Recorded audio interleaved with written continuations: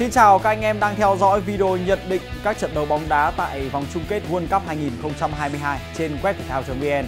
Tại đây thì chúng tôi sẽ mang đến cho anh em những con số thống kê, những ờ, nhận định, phân tích cũng như những dự đoán về các trận đấu hấp dẫn của World Cup 2022 đang diễn ra trên đất Qatar. Và ngay sau đây sẽ là những thông tin chi tiết.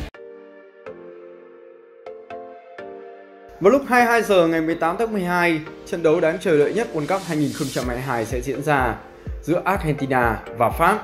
Chỉ hai cái tên thôi cũng đủ để cho thấy trận đấu này nóng đến mức độ nào. Và chúng ta sẽ cùng phân tích xem đâu sẽ là lợi thế, đâu sẽ là điểm yếu của hai đội bóng này. Theo những nhà cái đến từ châu Á, sẽ không có đội bóng nào có được lợi thế quá lớn ở trận đấu tới. Về tỷ lệ số bàn thắng, họ đánh giá tỷ lệ tài xỉu sẽ là 2.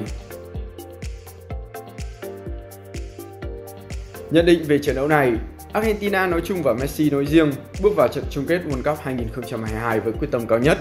Dễ hiểu khi đây là cơ hội giúp đội bóng Nam Mỹ giải cơn khát danh hiệu World Cup kể từ năm 1986 cho tới nay.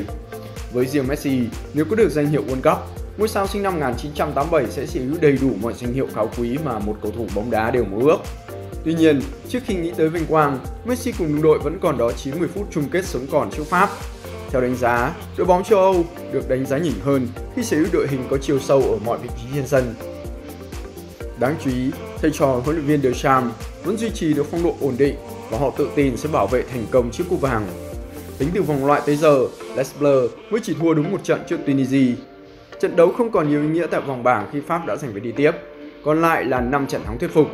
Trong đó, Pháp phần nào cho thấy vóc dáng của nhà vô địch khi vượt qua ứng viên nặng ký đội tuyển Anh ở vòng tứ kết và giải quyết chú ngựa ô Maroc ở vòng bán kết.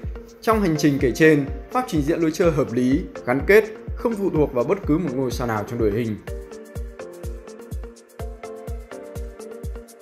Và chúng ta sẽ cùng xem những con số thống kê nói lên điều gì. Với tỷ lệ châu Á là 0-0, Argentina đã từng thua 3-4 trước Pháp tại World Cup năm 2018. Và lúc này Argentina đã thua kèo 2 trên 3 trận đấu mới đầy tổ World Cup. Pháp đang là đội bóng có tỷ lệ thắng kèo cao nhất World Cup này với tỷ lệ lên tới 5 trên 6 trận.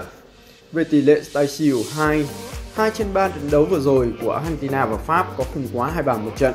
Trận đấu vừa rồi của đội bóng áo lam cũng có kết quả tương tự và có tới 4 trên 5 trận chung kết World Cup gần đây không vượt quá hai bàn mỗi trận. Về mặt lực lượng, ở trận đấu tới, hậu vệ cánh trái Acuna của Argentina sẽ hết hạn treo giò và anh sẽ trở lại bên hành lang cánh trái của đội bóng đến từ Nam Mỹ. Huấn luyện viên Scaloni có thể sẽ sử dụng đội hình 4-4-2 giống như những gì họ đã thể hiện trước Croatia cho trận chung kết này.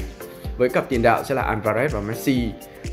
Bộ tứ tiền vệ sẽ là Enzo Fernandez, Perez, De Paul và Mark Allister. Trong khi đó ở hàng thủ, Otamendi bằng kinh nghiệm của mình sẽ chỉ huy hàng phòng ngự với những Romeo, Molina, Acuna và thủ thành Martinez. Còn về phía Pháp, Upamecano sẽ trở lại chơi vị trí trung vệ cùng với Varane. Hai bên cánh sẽ là Hernandez và Koundé. Hàng tiền vệ của họ vẫn là những cái tên quen thuộc kể từ đầu giải như Rabiot, Chouameni, Dembele, Griezmann, Mbappe và Giroud. Những thống kê khác đáng chú ý chúng ta có thể tham khảo như sau. Argentina đã thủng lưới 0,8 bàn mỗi trận.